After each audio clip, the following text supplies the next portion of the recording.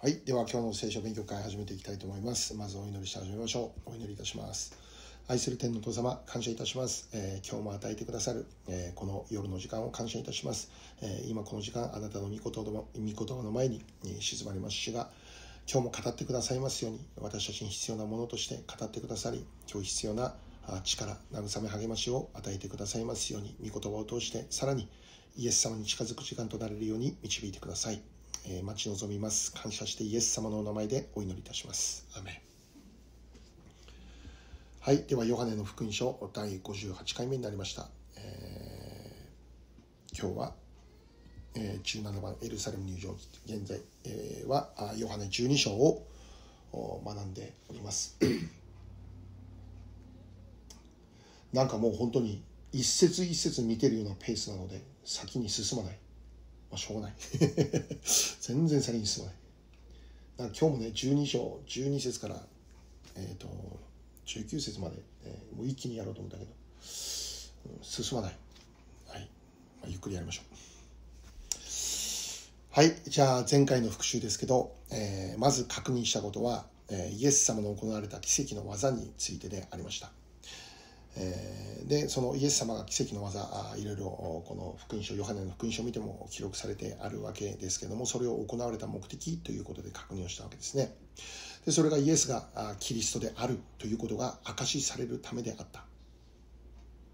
イエス様が神様によって使わされたお方、このお方こそユダヤ人、彼らが待ち望んでいたメシア、救い主である、そのことが証しされるその一つのことがイエス様を通して行われたこの技ですよね。で、そのイエス様の行われた技の究極、まあ、神様が行われた技の究極というのは、このイエス様の復活ですよね。十字架の死からの復活。それを通してイエス様が、えー本当に神の御子、キリストであることが証しされることになるわけです。しかしもう一つイエス様が奇跡の技を行われた目的というのは、あそれは本当に私たちの苦しみとか悲しみとか私たちの人生に関心があるからだということですね。イエス様は私たちの苦しみ、悲しみに関心があります。病で苦しんでいる人に関心がある。問題を抱えて生きている人に関心がある。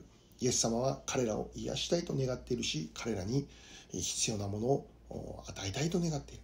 まあ、その願いが奇跡の技という形を通して現れてくるわけなんです。で一つ重要なことはイエス様が生きていた時代に起こったあそれぞれの働きというものは2000年が過ぎた今でも起こり得るよという印と不思議は私たちが生きている時代にも起こるものであるということですよね私たちはそのことを信じないものにならないで信じるものになるということイエス様はあなたの信仰の通りになるように、まあ、先週も見事はそのことを確認しましたね。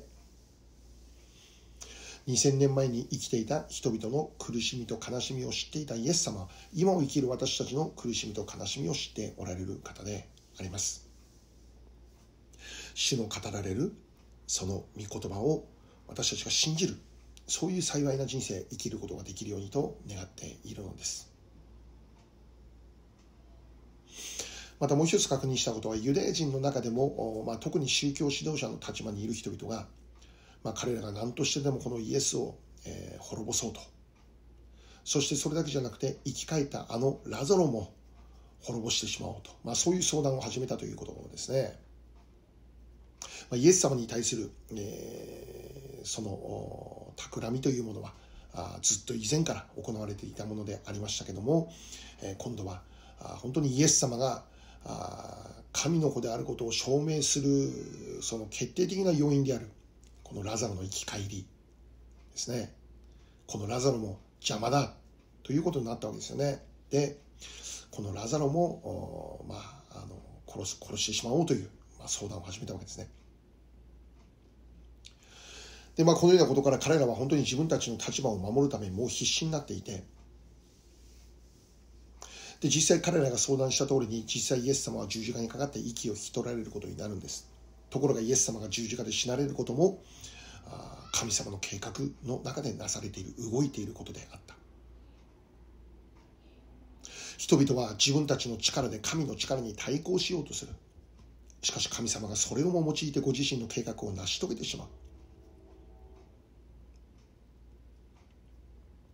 私たちは人生に起こる問題の前でどのように対処することができるでしょう。この聖書に記録されてある宗教指導者たちのように当時のユダヤ人たちのように自分たちの力で必死で対抗しようとしているんじゃないだろうか、まあ、先週そのことで、えー、ヤコブの内容も見たわけですけどあ私たちはヤコブがそうであったように神様の見舞いに本当にひざまずくことが本当に重要なんだ。ヤコブが神様と格闘するほどの祈りを捧げた。ように私たちもさまざま起こる問題の前で神の御前に必死になって格闘するほどの祈りを捧げていくこと。今日私を祝福してくださらなければ私はあなたを離れません。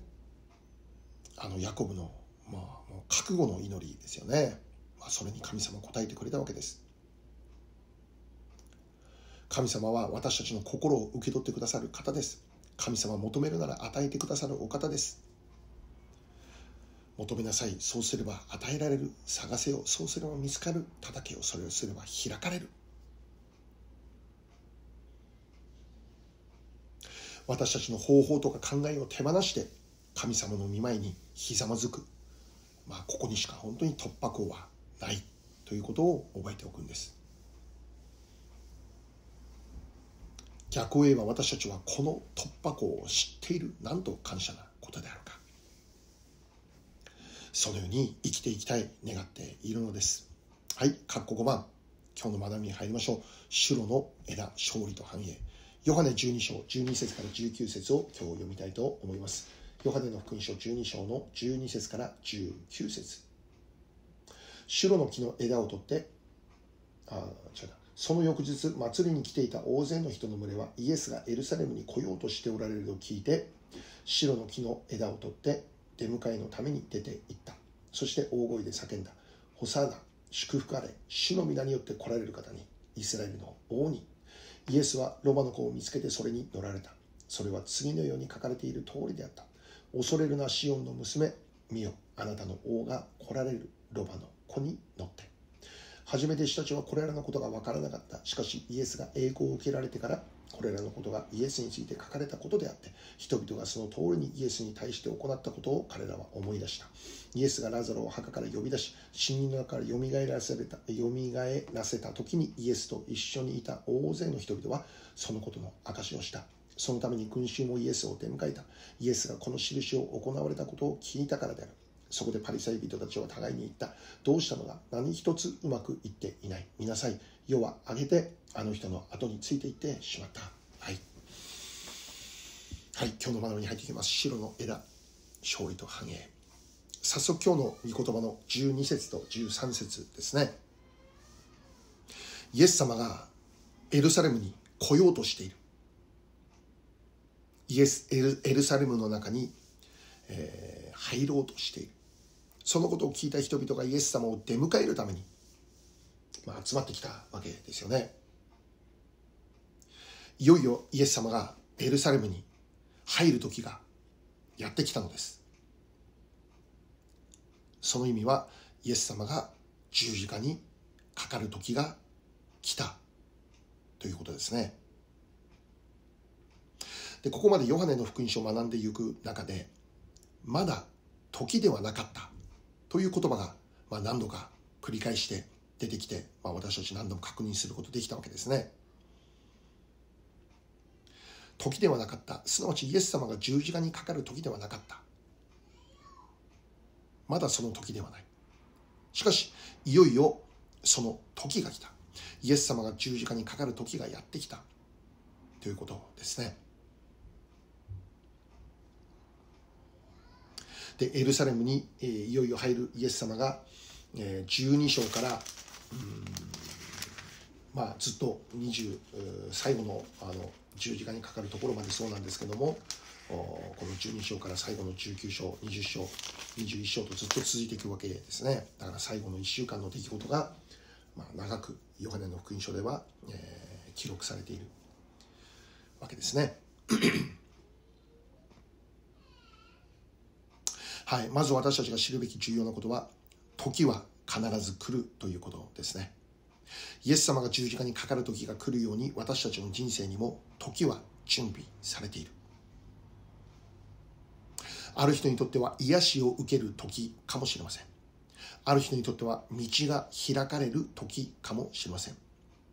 ある人にとっては必要が与えられる時かもしれません。問題や苦しみからの解放の時かもしれません。とにかく今日の聖書が私たちに教えていることは、時は来ることです。イエス様はいよいよ十字架にかかる。そのその時が来たということでありますけども、その意味は何かというと、全人類の救いの完成の時が来たということですね。いよいよ神様が持っておられた計画、罪人たちの贖い、全人類の救いの完成、その時が来たということです。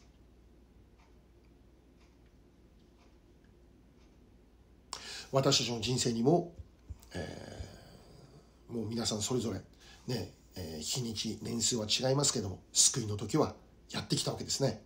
イエス様と出会える時はやってきたわけですよね。本当に感謝なことです。同じように私たちの周りにいる人々家族も含め全ての方々に、時は来る。信じて祈ることです。信じて福音を伝えることです。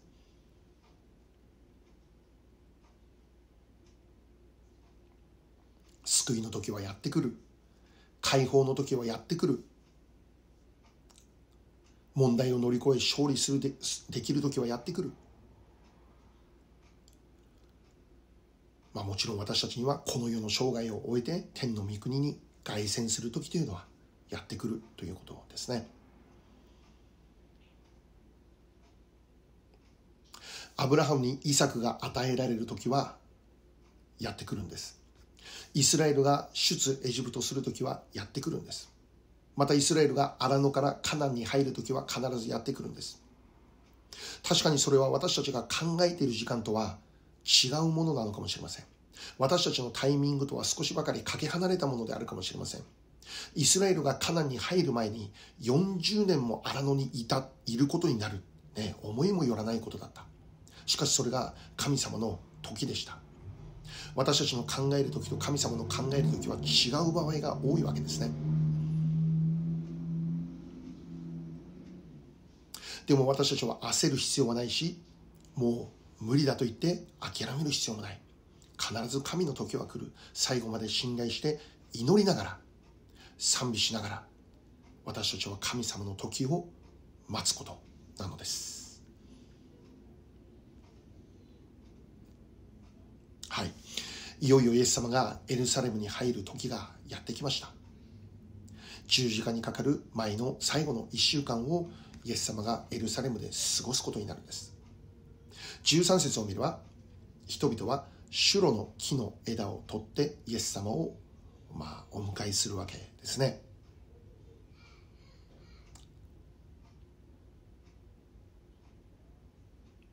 でこのシュロの木というのは、えー、まあナツメヤシの木とも呼ばれているんですけど、まあ、簡単に言えばですね、神様の勝利と繁栄を意味するものであります。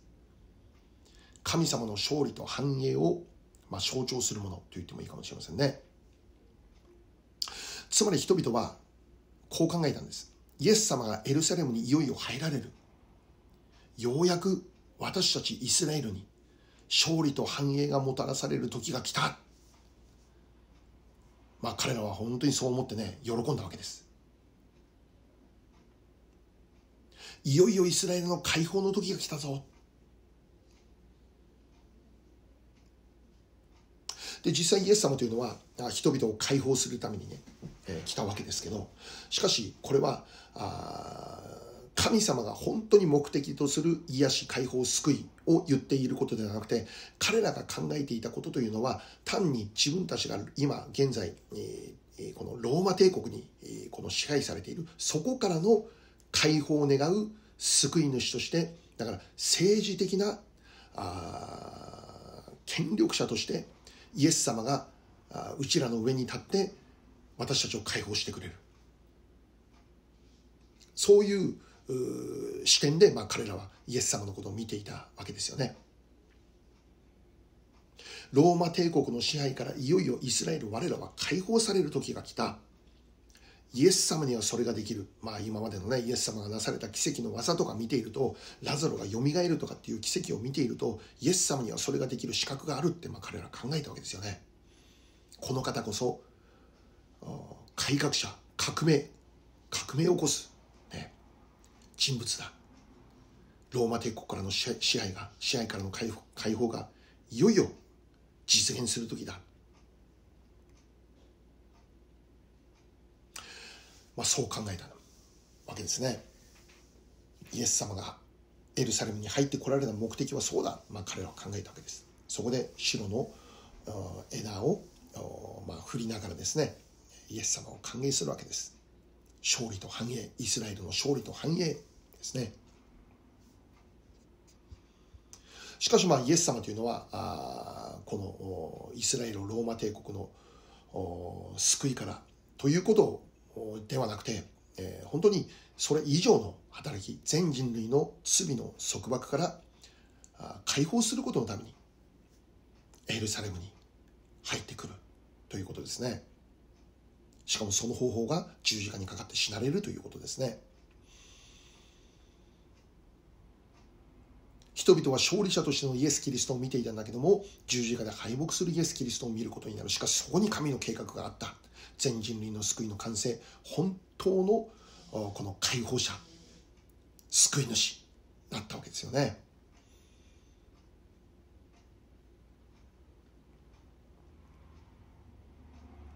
はいここで私たちがしっかり覚えておくことはイエス様って何のために来られたのか単に私たちがより良い生活を生きるためだけにこの世界に来られたのではないということですね。もう貧困の問題とか健康の問題とかもう将来の不安問題それを解決するためとか私たちにより良い人生を生かすために来られた。ということではなくて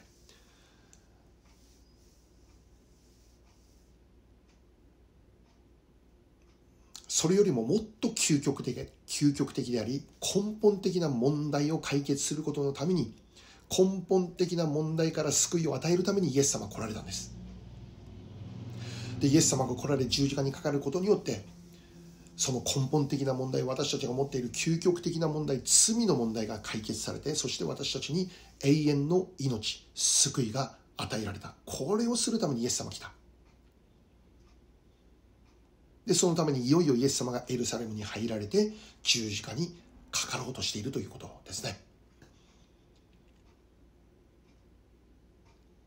確かにイエス様を信じる人々には私たちには勝利と栄光、繁栄、約束されています。死を信じる者に与えられるものは圧倒的な勝利であります。約束されています。しかしそれは単に目に見える問題の解決を教えていることだけではないわけですね。究極的な問題の解決、根本的な勝利を教えているものなんです。原因の問題の原因の根本それを抜き取る。そこから解放する。そこからの勝利を与えるためにイエス様は今エルサレムに入ってきた。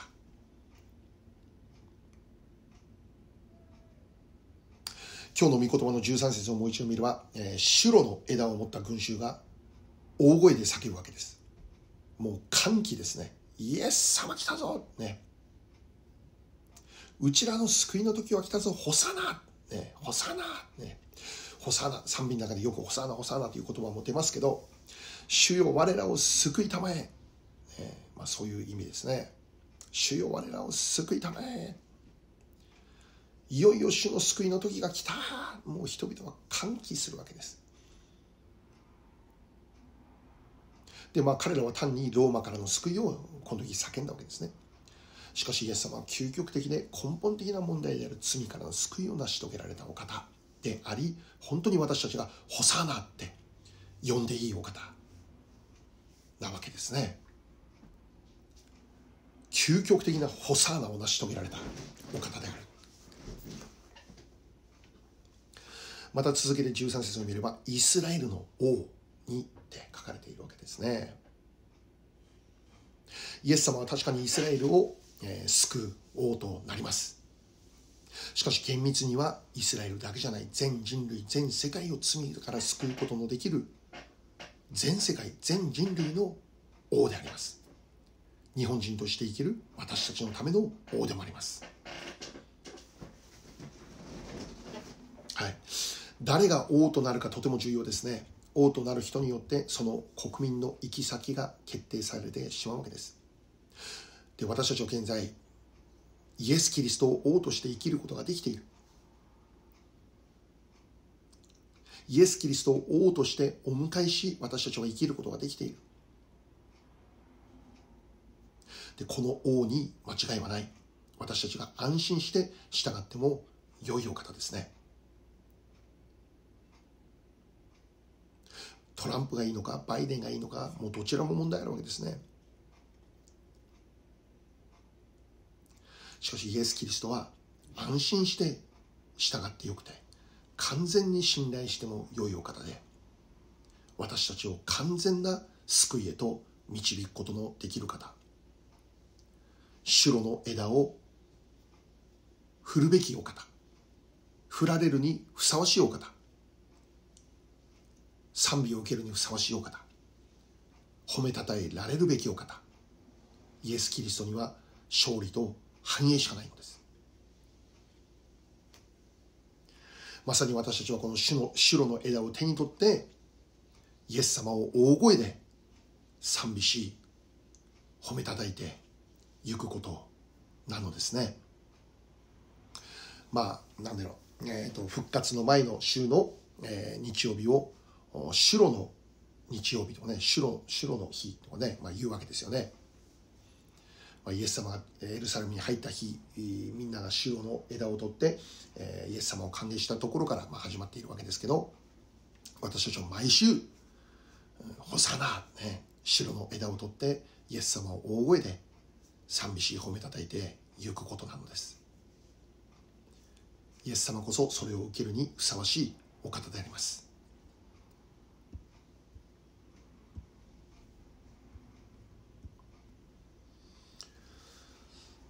はい、じゃあ続いて、括弧6番いきましょう。ロバの子に乗って、ヨハネ12章12節から19節はい。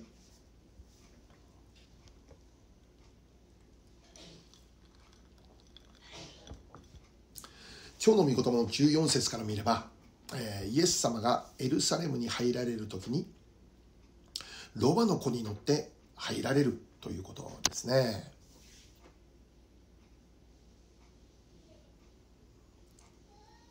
人々が白の枝を手に取ってイスラエルの王だって叫んでいる対象であるそのイエス様がロバの子に乗って、えー、入場される人々がもう大熱狂している中で、えー、ロバの子に乗って入ってこられるということですね。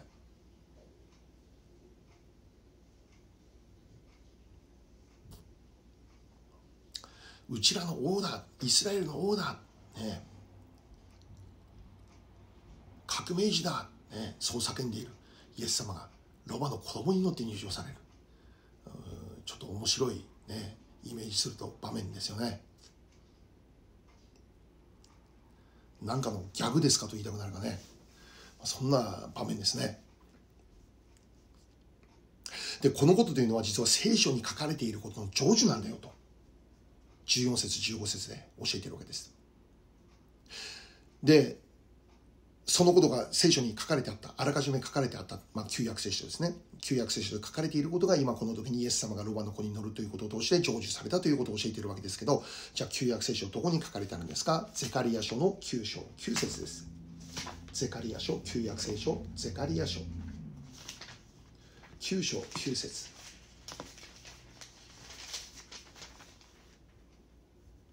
セカリア書9章9節。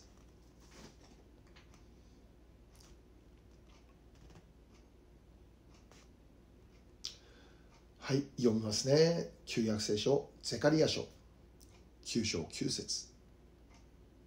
シオンの娘よ大いに喜べ。エルサレムの娘よ喜び叫べ。見よあなたの王があなたのところに来られる。この方は正しい方で救いを賜り。乳和でロバに乗られる。それもメロバのこの転ばに、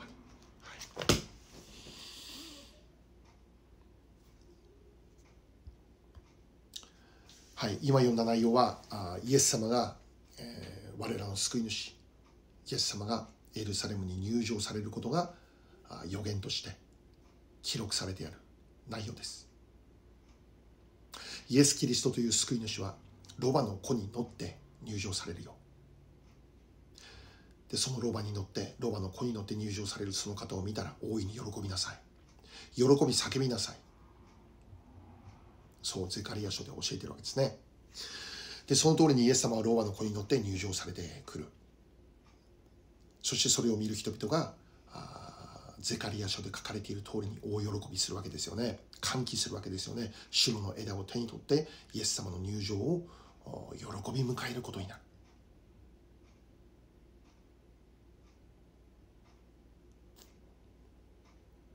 まずここで一つ注目することは御言葉が語られたならばそれは必ずその通りにならなきゃならないんだ。ということですね。御言葉が語られていたならば必ずその通りにならなければならないんだ。ということです。御言葉が語られているならばその内容が変更されることにはならないということです。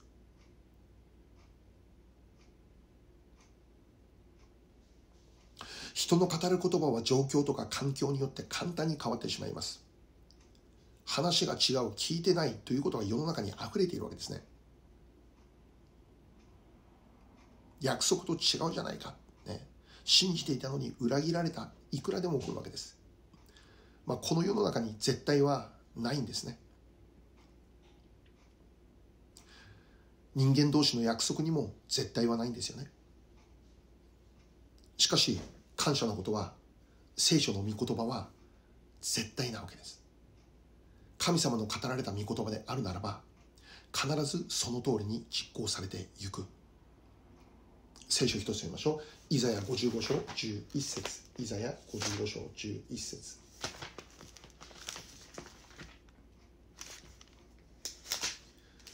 イザヤの55章11節。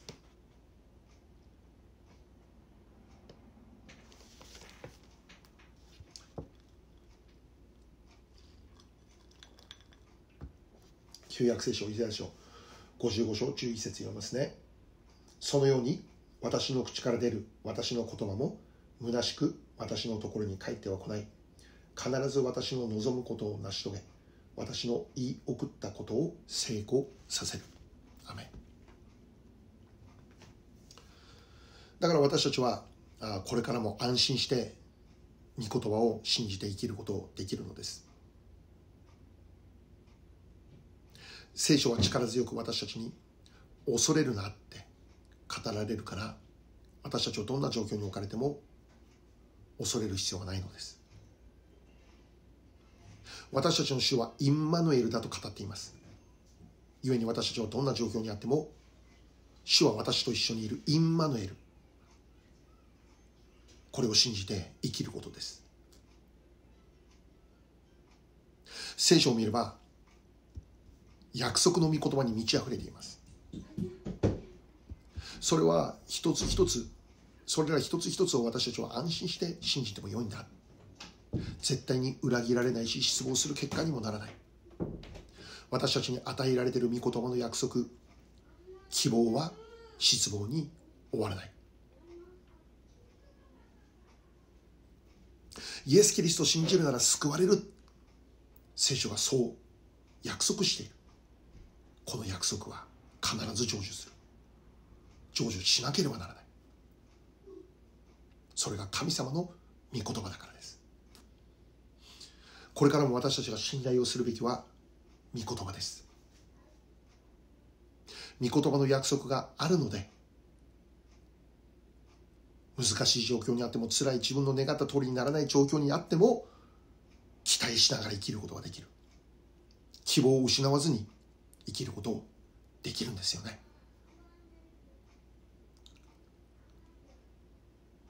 ローマ 10, ローマ10章11節。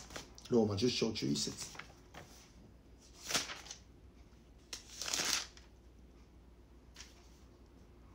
新約聖書ローマ10章11節。大変短い見言葉ですけど、えー、本当に力強い約束を語ってくださっています。ローマ10章11節。聖書はこう言っています。彼に信頼する者は失望させられることがない。彼はイエス・キリスト。イエス・キリストの御言葉神の御言葉信頼する者は失望させることがない。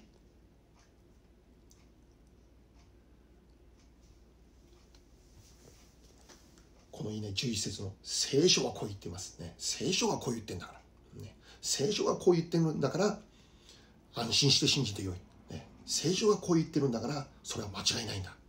絶対なんだ、ね、私たちの絶対的に絶対的な信頼揺るぎない希望。それが聖書の御言葉でありますね。ヨハネ14章1節。ヨハネ14章1節。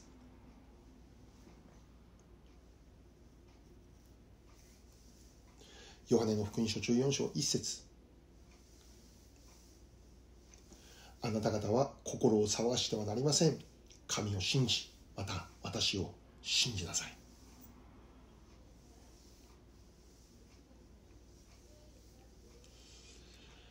絶対的に信頼することができるという、まあ、そういう対象そういう存在があるということは本当に私たちの人生に平安を与えて喜びを与えてくれるものだと思いますね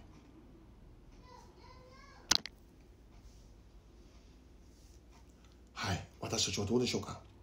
神様という存在が私たちにとって絶対的にそん絶対的に、えー、信頼できる対象となっているでしょうか？御言葉の約束を信頼しきって生きることできているでしょうか？信頼の対象である御言葉私たちをしっかり見てしっかり読んで自分の中に入れていかなければなりません。もし御言葉に対する神様に対する信頼というものがあるならば私たちの人生からは賛美の歌が絶え間なく行われるようになるだろう。信じるんです。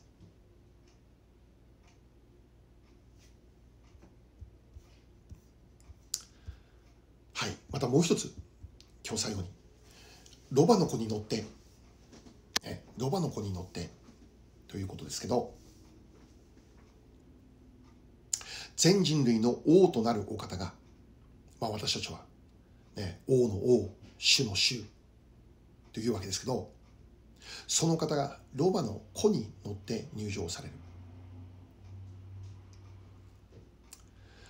で当時のまあ実際ね目に見える王様だとかね高い地位にいる人々がロバに乗るということはないですね。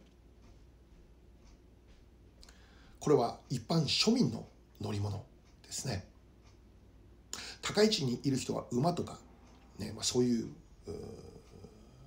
大きなものに乗ってですね、えー、上から群衆を見下ろすような、まあ、そんなイメージ印象ですよね。しかしここでイエス様がロバに乗って入場される。しかもロバの中でももっと小さいロバの子供。ということですね。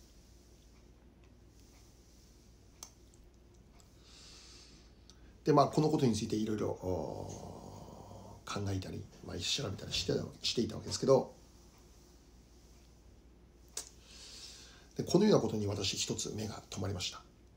ロバの子に乗ることによってイエス様の視線が周りにいる群衆と同じ視線となる。あ目線目線が同じになる。目線。馬に乗った王は群衆を見下ろします。しかしロバの子に乗った入場された王イエス様は群衆と同じ目線にある。つまりイエス・キリストという王は私たちの目線と同じ位置に立つお方。私たちと同じ目線に立ってくれくれてその意味は私たちと向き合ってくださる王。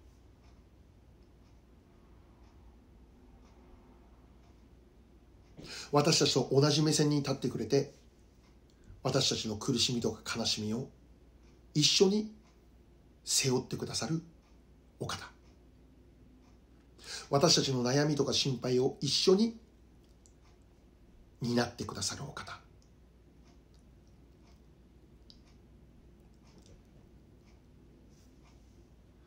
戦いの中で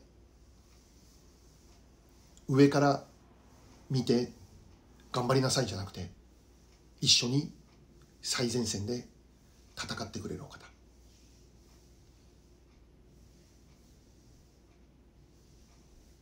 この世の支配者たちは自分たちのために群衆を利用するしようとすることもある。自分たちの権威を保つために自分たちの懐を豊かにするために国民が騙されてしまうということも起こるのかもしれない。しかしイエス様はそうではなくてイエス様という王は私たちの苦しみを理解されるお方。私たちの悩みを知ってくださるお方。そしてそれを一緒に背負いたいと。一緒に歩もうと語ってくださるお方です。マタイ11章28節。マタイ11章28節。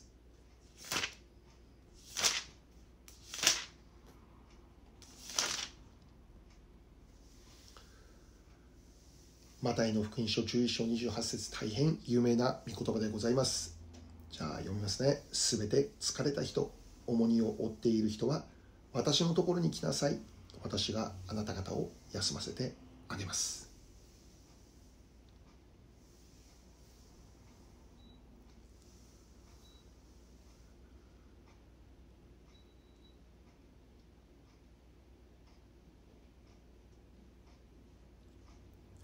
全人類に生きる私たち一人一人の苦しみを知っているお方です。私たちを知らないお方ではなく私たちを知っているお方です。で神様がイエス様が私たちのことを知っているということはあ名前聞いたことあるね。あそこに住んでるあの人顔一度見たことあるね。そんなレベルじゃなくて個人的に名前まで知っていてくださるお方です。その方のその人の髪の毛が何本あるかまで数えてくれるお方です。私以上に私に興味があり関心を持ってくださっているお方です。私たちの悩みと同じ私たちの悩みを同じ目線に立って聞いてくれるお方です。神であるお方が私たちと同じ人間の姿を持って生きてくださったということはそういう意味なんです。私たちの弱さを知らないお方ではありません。ヘブルヘブルビデオの手紙2章17節から18節。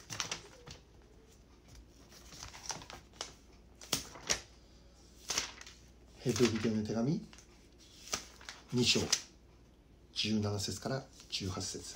新約聖書ヘブル2章。17節から18節。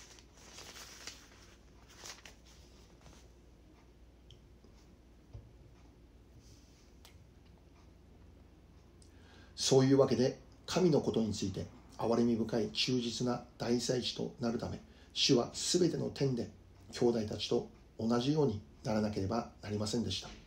それは民の罪のためになだめがなされるためなのです。主はご自身が試みを受けて苦しまれたので試みられている者たちを助けることがおできになるのです。アメイエス様は私たちを知っています。私たちと同じように同じ目線で生きてくれたお方です。ヘブル4章15節16節。ヘブル4章。15節16節。私たちの大祭司は私たちの弱さに同情できない方ではありません。罪は犯されませんでしたが全ての点で私たちと同じように試みに遭われたのです。ですから私たちは憐れみを受けまた恵みをいただいて折にかなった助けを受けるために大胆に恵みの御座に近づこうではありませんか。アメン。イエス様は同じ目線に立っていつも私たちのことを見てくださっているお方です。だから私たちは今日も大胆にイエス様に近づいていこうではありませんか。イエス様に悩み苦しみ悲しみをお話ししていこうではありませんか。折にかなった助けを受けるためと言っている。今16節ね。折にかなった助けを受けるためにどこに近づく？恵みの御座に近づきなさい。恵みの御座ってどこにあるんでしょう？私たちが生きているこの人生生活の中で恵みの御座ってどこにあるんでしょう？どこにであるどこにでもあるんです実は。私たちがひざまずいて主よ祈り始めるその場所です。私たちが死を見上げて祈りを始める場所が恵みの場所です。恵みの御座です。もちろん私たちが集まって日曜日礼拝を捧げる。あの場所も恵みの御座です。そこにイエス様一緒にいてくれて折にかなった助けを与えてくれる方。信頼して良い方です。信じて良いお方です。この方を信じ信頼し生きる私たちに神様の祝福が豊かにあるように。今日はこ今日の学びはこれで終わりたいと思います。お祈りいたしましょう。愛する天皇父様、今日も与えてくださる祝福の御言葉の学びに心から感謝いたします。えー、今日もこの学びを通して、え、私たちが本当に様々なことを気づかされ、教えられ、励まされ、力が与えられたことを心から感謝いたします。折にかなった助けが必要な人々がおられますから、恵みの御座にいつもその人々が近づいていくことができるように祝福してください。今日も私たちと同じ目線に立って一緒に生きてくださる一緒に歩んでくださるイエス様に感謝賛美栄光を捧げます。主の枝を取って本当にあなたを心から喜び褒めたたえます。尊き主イエス・キリストのお名前でお祈りいたします。アメン。アメン。アメン。感謝します。はい。今日の学びは以上になります。ではまた来週よろしくお願いします。ハレルヤ。感謝します。